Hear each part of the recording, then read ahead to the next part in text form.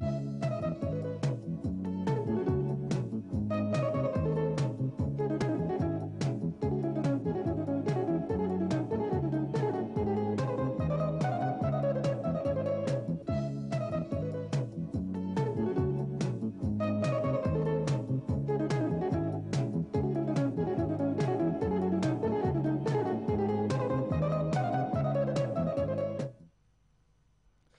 Bună frumoșilor, bun găsit la DC cu în chitară. În această emisiune ne vom delecta alături de niște reprezentanți de marca ai genului. Este vorba despre niște oameni care v-au bucurat pe parcursul a mai mulți ani în sălile de concert. Surpriza va aparține așadar vizionarea plăcută.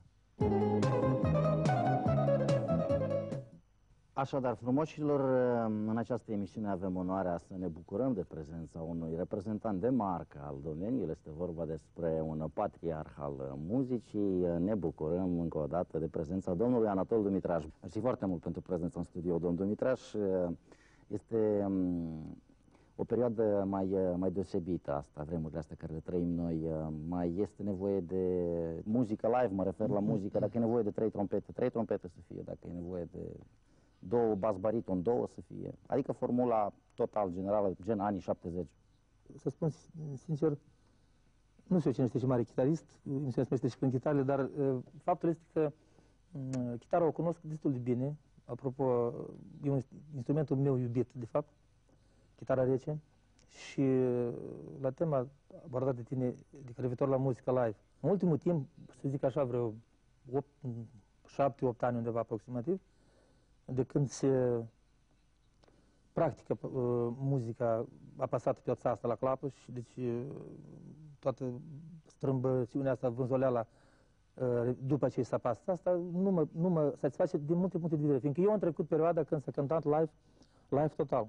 Țin minte la Moscova, sala de concerte Rusia, 7 noiembrie, odată a fost. Drumul din uh, melodie 86 din Vilnius, Iter Direct. Uh, odată la 60 de ani a uzinei la Cerepoveț, tot live direct. Și multe, multe, nu le țin pe toate, unde am fost uh, uh, impuși, de fapt, deci, nu? să cântăm live. Și pe atunci nu se cânta cu mini-discuri, cu chestii sau cu nu existau. șmecherii de felul ăsta. Da, nu existau și bine că nu existau, fiindcă atunci muzicantul, muzicianul, dacă se trezea, zicem, în hotel, lua instrumentul în mână și prindea bas, chitară, zicem, pianist mai greu, dar restul ceilalți, trompetă, saxofon, uh-huh. îi auzeai țurluind pe unghiere. Uh, afară de asta, nu de spectacol, toată lumea se încălzea vocile, se încălzea... Atitudine profesionistă. N-avea cum altfel, fiindcă dacă nu făceai față locului, este o anumită perioadă timp, trebuia să cedezi locul altuia care se ocupa mai intens și mai profesionist. Problema este mult mai gravă, aș spune eu, părerea mea, pentru că atunci când se cânta live, 70-80, așa, uh, trupele îndoiau stadioanele în două. Încă o dată accentul da. stadioane, da. deci nu da. țăli. Și publicul simte când se cântă live, pe când în ziua de astăzi la, să spunem, negative, etc., etc., sau playback-uri, da, cam nu prea, nu prea convinge, nu mai ajunge, dar publicul în momentul când îl minți, el simte. Sigur și după aia cam nu prea dă din palme, nici nu mai vine cu familia să mai... Eu țin minte un caz interesant, 1990, în martie, exact pe Revoluție, în România, am avut un turneu împreună cu Gabriel Cotăbiț, început, am început de la Doro, Dorohoi, am venit la Galați.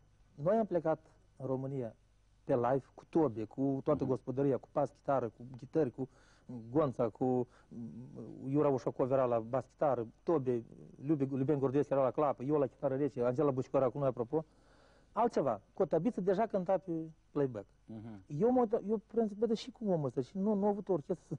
La mine nu, în conștiință nu era atât de, cum să spun, nu eram pregătit pentru că omul vine și cântă demonstrativ, fără niciun fel de rușine, cântă la, în fața spectatorului cu magnetofon. Și nu era încă mini-disc, era magnetofon cu casetă. Uh-huh.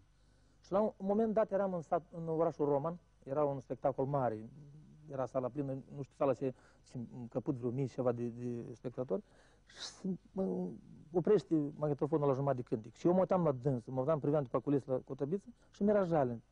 Bă, dar eu ce fost în lucru, eu, eu muream de rușine în scenă acolo. Mă omul, omul s-a plătit pe bilete, a făcut... Nu că îi fac acum de forul Cotăbeț, că prietenul meu, până la urmă, e da, altceva da, da, totul. Da, Artiștii cei de atunci, cântăreții, mai ales interpreții, fiind cu Napru și eu cumva, Nicovala, uh, au rămas și vor fi.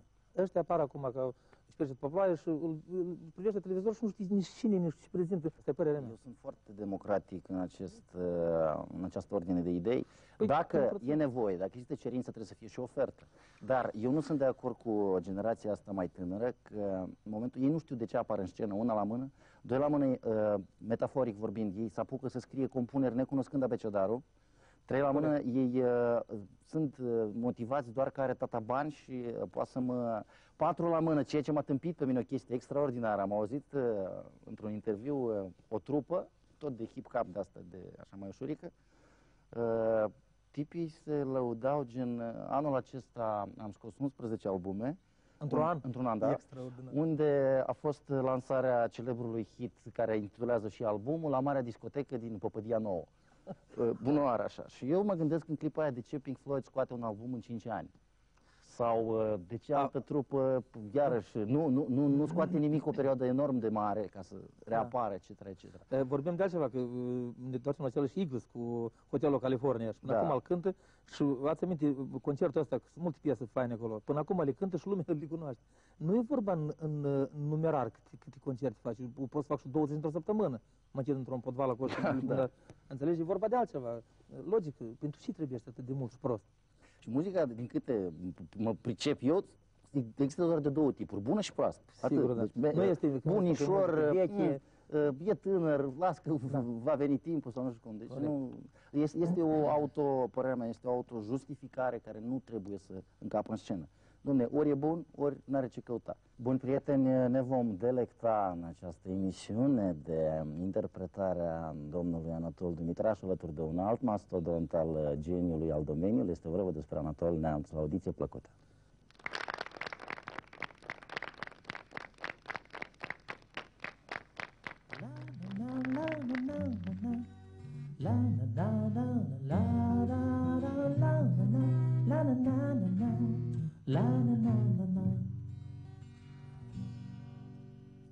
Până la os urbanizat, deși trăiesc aici în capitală, un X ce nu se lasă explicat, trădează firea mea provincială.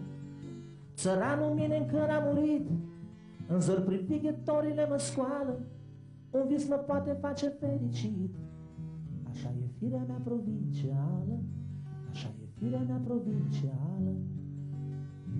Dau bună ziua la necunoscuți, e mă privesc tăcuți și cu răceală, sau nu mă înțeleg, sau poate smuți, că așa e firea mea provincială. La vreun concert mă întreb cum de umblau, strămoși în haina lor națională, că doar artiști cu toții nu erau. Așa e firea mea provincială, așa e firea mea provincială.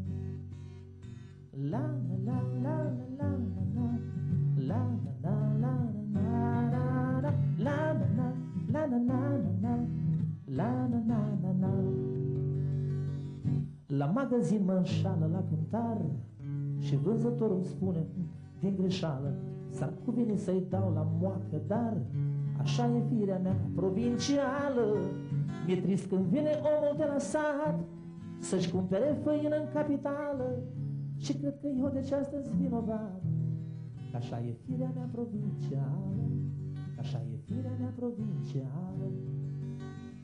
Dar cel mai mult mă întristez nespus Când unde-i gara întreabă cu sfială Și e privit ironic ce tu spus.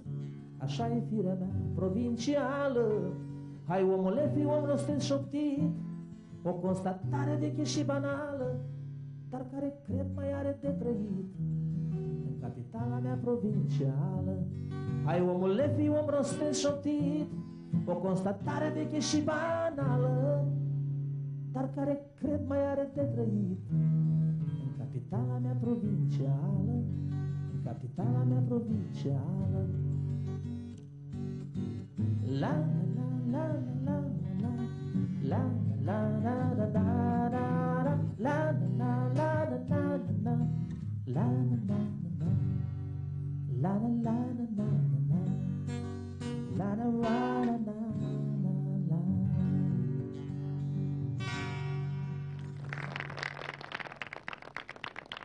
Mersi foarte mult. Uh, Apropo de această idee, multă lume este, nu știu, cred eu, uh, ușor indus în eroare. Există puritate doar la mediul rural, doar la țară, în oraș n-ar fi. Nu, este și acolo. Problema mai gravă este că în momentul când omul schimbă mediul, da, pleacă dintr-un mediu rural spre urbe, cam uită de unde, de unde a plecat și poate surplusul de informații acționează negativ uh, asupra unor uh, piloni care sunt uh, bine, bine implantați din copilărie de către părinți. Și apropo, educația cea mai importantă în creșterea și formarea personalității unui copil cred că aparține mai mult buneilor. Majoritatea celor care vin de la țară, vin din sate la oraș în perioada aceasta, cum, de fapt o perioadă foarte grea, cum a început emisiunea, cum ai spus tu, sunt fel de tip de oameni cei care au plecat la momentul meu sunt altfel de tip de oameni și cei care au plecat înaintea mea cu 10 ani în urmă sunt tot altfel de tip de oameni. Adică uh, totul se petrece, cred că numai din cauza că, nu din schimbul generațiilor, ci poate din schimbul de, uh, fii atent, au căzut drapele, au căzut guverne, au, ne-am făcut stat, ne-am făcut toată uh, abarcada, tot cavalcada asta de, de informație, atât politică, sufletească, morală și mai departe, totuși eu cred că foarte mult acționează asupra, mai ales celor care vin din mediul rural, fiindcă uh, eu nu zic că acum vin oameni mai slabi ca atunci cum am venit noi. Dar ăștia sunt mai... Foarte Ușor influențabili. Foarte dar nu informații. Cred. Eu când am călcat prima oară în sat la bunica mea, am trei lucruri mi s-au spus. Mergi pe drum, dai bună ziua, uh, vezi un om cu sapa, spui Doamne ajută și când, ca la țară, mă rog, să mai mănâncă dintr-o strachină, mănânci din față să nu te văd că te plin cu lingura prin fața la altul. Deci lucruri care nu se uită. Nu contează că s-au schimbat guverne sau... Sunt chestii bătute în cui canon. Sunt uh, o sumedenie mare de, de tineret care vin în coace și, apropo, învață cam pe bani gata, asta nu mai are secret, eu nu divulg un secret, că le știm cu toții de acum de Și uh, ăștia sunt tip, dar sunt care vin și învață prin școli astea cam, numai, numai ca să vie la oraș, ei vin înapoi în sat, spunând că cum, spunând pe că cum ar fi venit numai ce din Hollywood, știi, și așa mai departe. S-a, s-a știrbit miezul ăsta de a, a, ne, de a nu ne strica, de, nu ne, de a nu ne de faima ca, ca, ca, ca oameni, uh, orașul totuși strică, să știi. E prea mult uh, eu vin acum în sat, satul e departe, satul e 270 km de la Chișinău. Ăștia nu fug din sat, n unde. La Cernău să-ți duc hotarul până la Chișinău, chiar până la Bălță, 130 km, de acum și până acolo departe. Și stau acolo. Stau și sunt soară și sunt mărită de grabă și dispărțesc. Și, și cel mai mare păcat e că spun pe băut. Băutul e, e viciul cel Așa mai... e toamna, mă rog. Ei, de că ăștia n-au vin acolo, Adrian. Mă rog, ce au, ce au da. acolo. Să, să respectăm tradiția, să ascultăm uh, muzică live. Uh, vă rugăm frumos, domnule.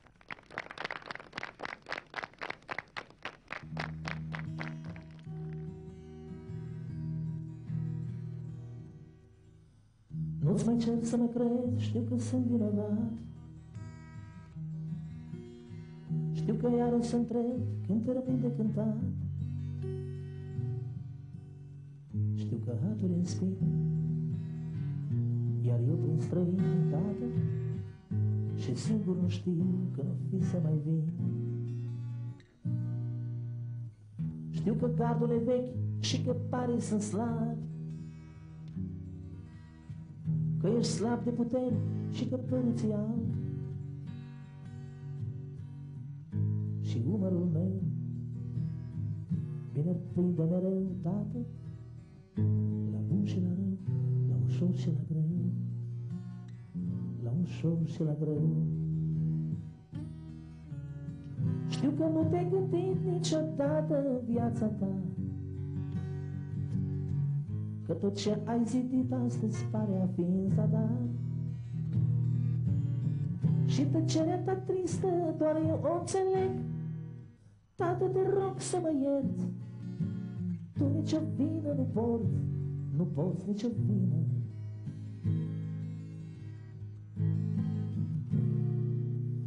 Nici nu-ți trece prin gând, dar eu mâine iar plec.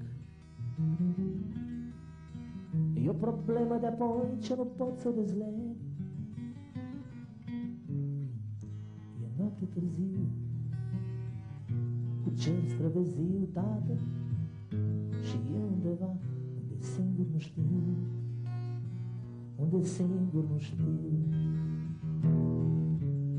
Gândul cel de pe urmă aș vrea să ți-l spun acum. Să ți-l spun chiar acum când sunt gata din nou la drum. Că povața ta sfântă e cu mine mereu Când mi-e ușor sau mi-e greu. Dacă mi-e bine sau rău Cu tine stată Cu tine stată Nu-ți mai cer să mă crești, știu că sunt vinovat Știu că iar o să-mi trec când termin de cântat Căci iar și zi Iar eu prin străinătate Și singur nu știu că nu fi să mai vin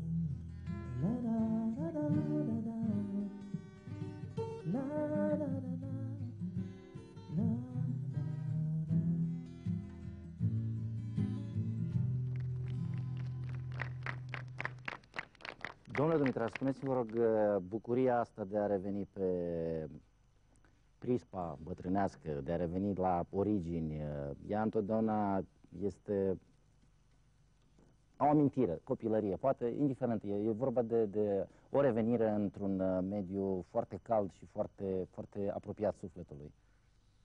Pentru mine tema uh, satului, tema case, case părintești, este tema parte. Tema asta o, o țin la inimă aici. Uh, și apropo, când, numai atunci mă simt acasă când vin, când vin la maică mea. Mersi mult, sunt părinți în viață și le doresc mult sănătate. Uh, atât și sătenilor mei care mă stimează și mă așteaptă. Sunt sigur că m-am convins de, de asta. Deci îi spun, uh, nu e o modă de fapt, fiindcă uh, a cântat despre sat, a cântat despre Baștene, a cântat despre casa părintească, despre părinți, nu e atât de ușor, fiindcă uh, aici n-ai cum, uh, nu te, n-ai cum te limita cu 3-4 vorbe acolo, 3-4 cuvinte sau cu un catrin sau cu o strofă și un refren și ai scăpat. Deci aici trebuie, trebuie, dacă ai apucat, te-ai apucat, trebuie să scoți în cap. Adică trebuie să... Sentimentul ăsta nu, nu se joacă cu așa sentimente, eu așa, înțe- așa înțeleg. Și din punct de vedere a unui părinte, cea mai mare mândrie este să nu roșești pentru copiii tăi. Păi asta e, fiindcă uh, piesa a fost scrisă în 1989, asta spre tata, dialog cu tata, și acum e 2002, 13 ani în urmă, când copilul meu cel mai mare avea 7 anișori. Uh, Atunci nu-mi dam seama cât de dureros este și cât de uh, greu este să aștepți. Acum știu că este plecat după hotare și numai la telefon ne sunăm și, Doamne, n-am, n-am, n-am uh, cuvinte să vă exprim uh, emoțiile care le trăiesc atunci când vorbesc cu ea la telefon. Prin cântec, domnul Dumitru. La la la la la La la la la la. La la la la la la.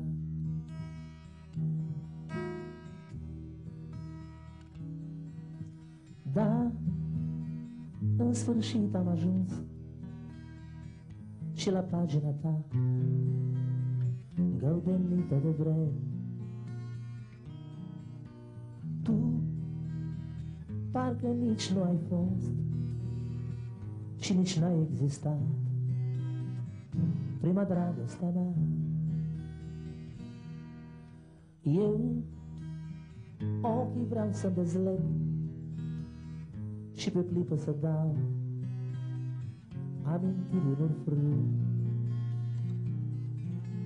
Când, când și cum s-a întâmplat, ce-am făcut de-am uitat, glasul în numele tău.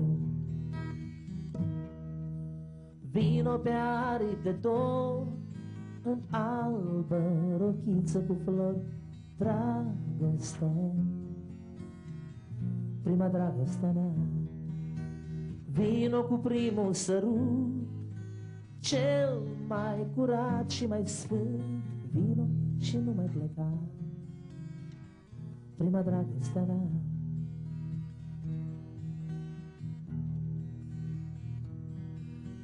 Da, astăzi e ziua ta, tu în inima mea te-ai născut din nou. Știu că într-o zi vei veni într-un șir de cocori, prima dragostea mea. Vino pe aripi de dor, în albă rochiță cu flori, dragoste, prima dragostea mea. Vino cu primul sărut, cel mai curat și mai sfânt, Vino și nu mai pleca. Prima dragostea mea Vino și nu mai pleca. Prima dragostea mea La la la la La la la la la Prima dragostea mea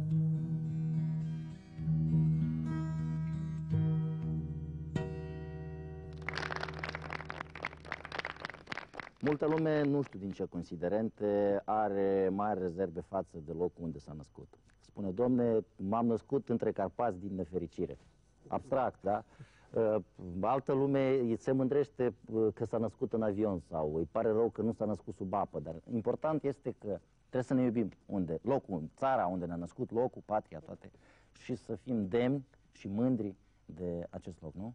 Corect. Eu, uh, uh, calea asta mea de 20 ceva de ani de scenă profesionistă, am luat aproape sub 50 de țări, am văzut uh, glob, aproape jumătate de glob pământesc, am văzut oameni de tot, tot calibru, dar mai ta, cea mai tare mă irită, mă enervează când ai noștri autohtonii o fac pe... Hai să, Străinii. hai să-i spunem uh, că uh, eu nu vreau acum să decurg la niște momente concrete, dar uh, foarte mulți, mai ales din acești tineri care deja, că ne aud vorbind, și a venit tăticul și pe școală și când a văzut Da, pe da, da, mine da. și... Bă, toată alintătura, toată, asta se face numai în familie. E normal, foarte mult depinde de cum se duc copilul în familie, cum vorbește, cum se uh, uh, plasează în societate și așa mai departe. Uh, Eu mă mândresc că m-am născut aici și toată viața mea a fost legată de această bucată de pământ. Sper și, uh, înainte să, să fiu primit, să fiu stimat cum am fost până acum. Eu cu puținul care l-am mă mulțumesc și sunt foarte bucuros și mă mândresc cu națiunea mea și cu țara în care trăiesc. Asta nu, asta nu lozin, că știi că eu sunt un foarte uh, emotiv și o spun din suflet, o spun cu toată responsabilitatea. Mersi foarte mult să ascultăm uh, o piesă care de altfel este în același context. Da.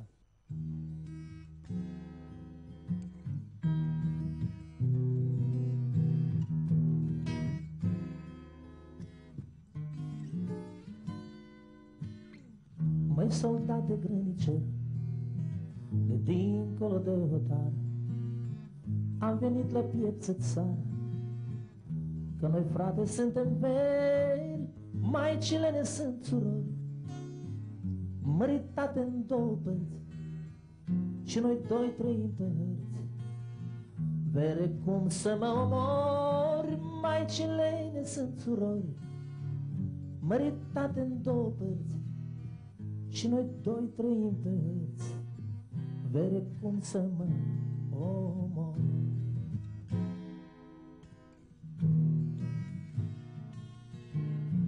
Măi soldat de grănicel Frățiorul meu viteaz. A fost ieri ce nu e azi Mâne altfel decât ieri. Nu te întreb de bunul unchi Dar te rog cu același glas să-i întreb de ce mi-au tras granițe peste genunchi, nu te întreb de bunul unchi, ci te rog cu același glas să-i întreb de ce mi-au tras granițe peste genunchi.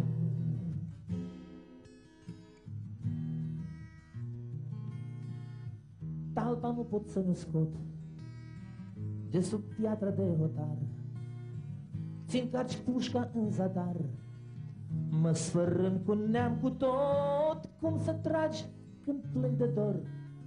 Și spun lumii în zadar Că un strâmb și fals hotar Mi-a căzut peste picior Cum să tragi când plâng de dor. Și spun lumii în zadar Că un strâmb și fals hotar Mi-a căzut peste picior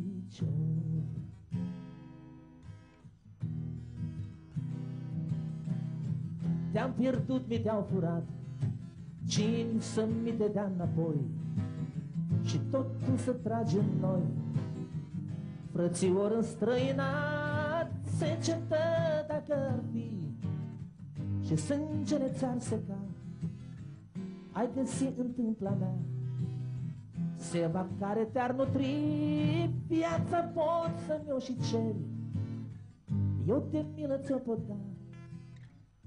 Să nu-ți faci păcat cu ea. Măi soldat de grănice Măi soldat de grănice Măi soldat de grănice Că noi, frate, suntem veri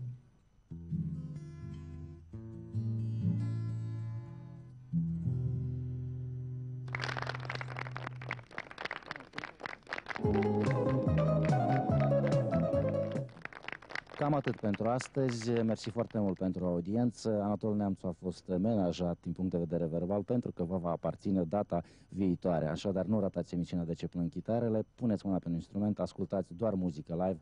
Numai bine, pe curând! noapte strunele, strunele nebunele, tu iubire spune-ne, ce-a fost nu s-a pierdut, ce-a fost nu s-a pierdut, ce-a fost nu s-a pierdut.